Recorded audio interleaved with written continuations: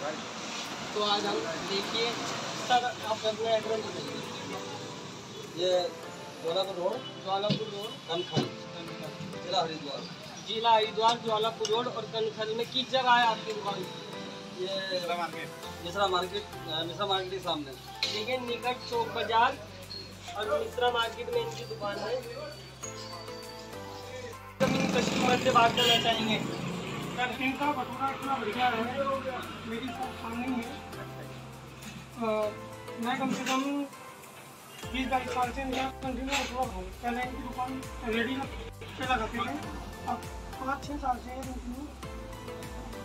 बाज़ार में दुकान लिया उन्होंने तो जगह वहाँ छोटी पड़ रही थी ग्राहकों की कमी की वजह से उन्होंने थोड़े समय पहले दुकान दी और ये भटूरे इसका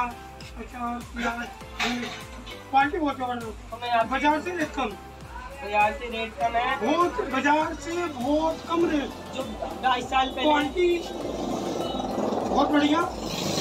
रेट बहुत इनका बाईस साल पहले टेस्ट था क्या आज भी वही टेस्ट है? वही टेस्ट है बिल्कुल। इनका ये कहना है हुआ उन्नीस भी हुआ।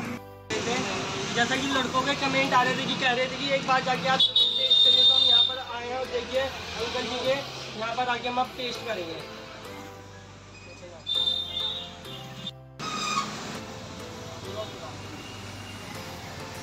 जैसा कि आप दोस्तों देख रहे हैं इस टाइम कढ़ाई में भटूरा इसकी ये देखना फुलावट जिसे बोलते हैं।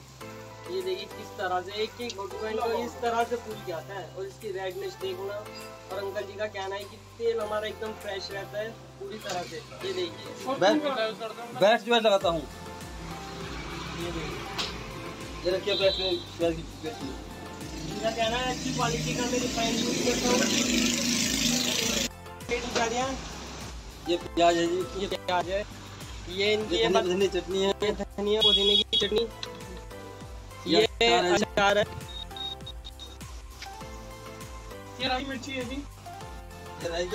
ये राई हरी मिर्ची छुकी हुई घर की है जैसा कि बता रहे थे कि लाजवाब टेस्ट इनका मशहूर है ये मिर्ची। है। गाइस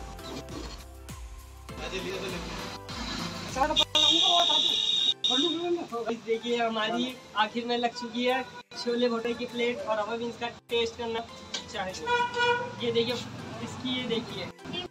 देखिए, किस प्रकार से पूरी तरह से एक तो रेडिश हो रखा है और पूरा फुल्ली हो रखा है। और जो इसकी स्टफिंग है वो इस तरह से है कि इसमें लगभग तीन चार चीज़ें डाल के इससे स्टफिंग करा गया है। ये देखिए, आप देख सकते हैं इसकी रेडनेस देखिए, पूरी तरह से कहीं से भी कच्चा नहीं हर तरह से पका हुआ है बिल्कुल, अब देखिए हम खाना चाह रहे हैं लगाओ क्या ये हमारी भटूरे की आइटम होती है। और ये लिए अपने इसमें छोले एंड प्याज। और ये देखिए बताते कि ये घर का, इनका मशहूर अचार है। ये भी हम ज़रूर लेंगे।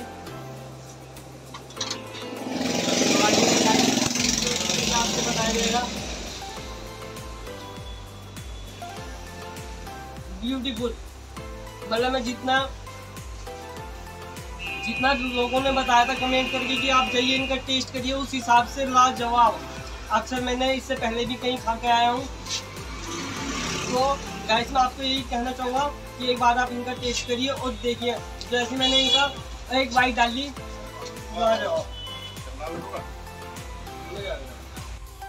उसमें अंकल जी जैसे कि मैं कहना चाह रहा हूँ ये ये आपने जीरा किस चीज़ के लिए रख रखा है? ये जीरा चाय किस चीज़ के लिए है? ये अगर कोई जाएगा